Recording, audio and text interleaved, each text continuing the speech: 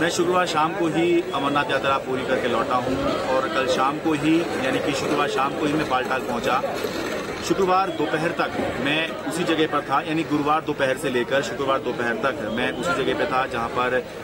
बादल फटने की घटना हुई है पवित्र अमरनाथ गुफा पर। और बिल्कुल उसी जगह जो है मैंने टेंट भी लिया हुआ था। उसी जगह में जो है क्योंकि वहाँ पर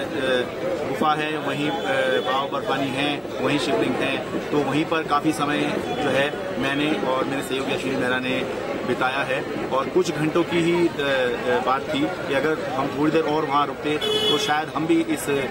हादसे का शिकार हो सकते थे। अमरनाथ यात्रा वैसे तो हर साल होती है, लेकिन इस बार दो साल की ब्रेक के बाद ये यात्रा हुई है, क्योंकि कोरोना के चलते 2020-21 में यात्रा नहीं हो पाई और इससे पहले 2019 भी जब यात्रा हो रही थी तो धारा 370 हटाने की वजह से जो यात्रा थी वो समय से पहले ही खत्म कर दी गई थी। आ, यात्रा में करके आया हूँ तो ये बता सकता हूँ कि बहुत चुनौतीपूर्ण ये यात्रा होती है क्योंकि पहाड़ हैं और आप ये समझें कि अगर आप शारीरिक रूप से फिट हैं फिजिकली फिट हैं तो भी इतना आसान नहीं है आपका कि आप पैदल चल के चले जाएँ। दो रास्ते हैं पहलगाम है जो पारंपरिक रास्ता है जिससे बताया जाता है कि महादेव और माता पार्वती दोनों चल के गए थे। दूसरा है बालटाल का जिस पर इस समय खड़ा हुआ हूँ। तो मैं पहलगाम के रास्ते से गया था।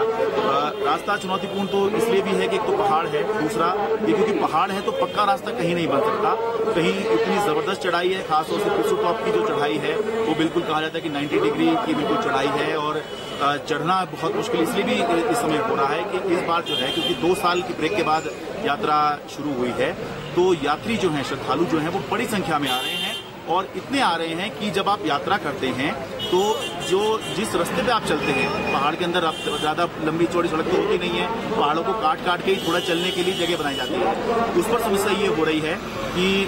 एक तरफ़ आने जाने वाले जो हैं, यात्री चल रहे हैं, दूसरी तरफ़ आने वाले भी चल रहे हैं, घोड़े चल रहे हैं। तो बीच बीच में कई जगह तो ऐसा होता है कि एक जाम की स्थिति बन जाती है। आमतौर पर हम देखते हैं कि गाड़ियों का जाम लगता है, लेकिन पहाड़ों पर, ये हमारा ज़्यादा जब आप करते हैं तब इंसानों का जाम लगता है, तब घोड़ों का, खच्चरों का जाम लगता है और दिक्कत इसलिए भी आती है कि अगर बरसात हुई है तो जो रास्ता है, वो बहुत फिसलन भरा हो जाता है। आदमी, औरतें जो जो श्रद्धालु जा रहे हैं, वो तो फिसल ही सकते हैं। साथ में जो घोड़े और खच्चर होते हैं फिसल जाया करते हैं, क्योंकि सब हैं तो ये समझे कि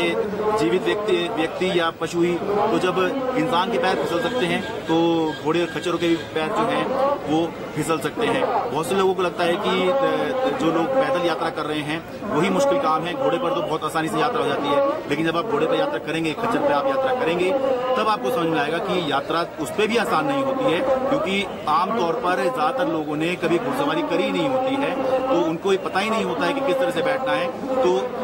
जब वो घोड़े पे यात्रा करते हैं तो जब घोड़ा बिल्कुल ही नीचे जाता है, यानी कि जब उतरना होता है, तब बिल्कुल ऐसा लगता है कि आप नीचे गिर जाएँगे। और जब बिल्कुल ही 90 डिग्री की चढ़ाई होती है, तब जो है आपको लगता है कि कहीं आप गिर ना जाए, घोड़ा चढ़ेगा कैसे खासतौर से जब फिसलन हो रही हो, जाम लग रहा हो, जगह नहीं है पैर रखने के लिए तो ये बहुत चुनौतीपूर्ण जो है यात्रा ये होती है। और इसके बाद में लोग जो है, जब गुफा में पहुँचते हैं, पवित्र अमरनाथ गुफा में पहुँचते हैं, वहाँ पर मन्नत मांगते हैं। और कुल मिला के मामला ये आस्था का होता है कि इतने सारे कष्ट सहकर भी लोग, इतने सारे दर्द सहकर भी लोग इस यात्रा को करते हैं। हज़ारों हज़ार लोग जो है जा रहे हैं, अभी तक एक लाख से ज़्यादा लोग इस बार जो है, ये यात्रा कर चुके हैं। तीस जून से ही यात्रा शुरू हुई है और अभी जो है आठ जुलाई, नौ जुलाई के उसमें ही हम अभी चल रहे हैं, जिसमें एक दो दिन तो ऐसे हो चुके हैं जब यात्रा चली ही नहीं है। तो ये सारे दर्द जो है, ये सारे कष्ट लोग इसलिए सहते हैं कि हम भगवान से कुछ मांगेंगे, मनोकामना हमारी पूर्ण होगी। तो इसीलिए ये भले ही केदारनाथ में भी हमने देखा था कि ये ये दुर्घटना हुई, ये हादसे हुए, लेकिन ये लोगों की आस्था है, इंसान का भगवान में जो भरोसा होता है, वो बना रहता है। इसी वजह से भले ही ये हादसे होते हैं, ये नहीं होने चाहिए। जिनके साथ हुआ, उनके प्रति हमारी संवेदनाएँ हैं, लेकिन अगर ये होते भी हैं तो भी लोग बस इतना ज़रूर करते हैं कि थोड़ा सा अपनी तरफ़ से सावधानी बरतें। ये देखें कि कहाँ रुकना चाहिए, कहाँ नहीं रुकना चाहिए। लेकिन यात्राएँ जो हैं, ये चलती रहती हैं, क्योंकि इंसान की ईश्वर में आस्था जो है, वो अटल है और जब तक आस्था है, तब तक ये अमरनाथ यात्रा चलती रहेगी। बालटाल से अपने कैमरा सहयोगी अश्विनी मेहरा के साथ मैं शरद शर्मा एनडीटी मीडिया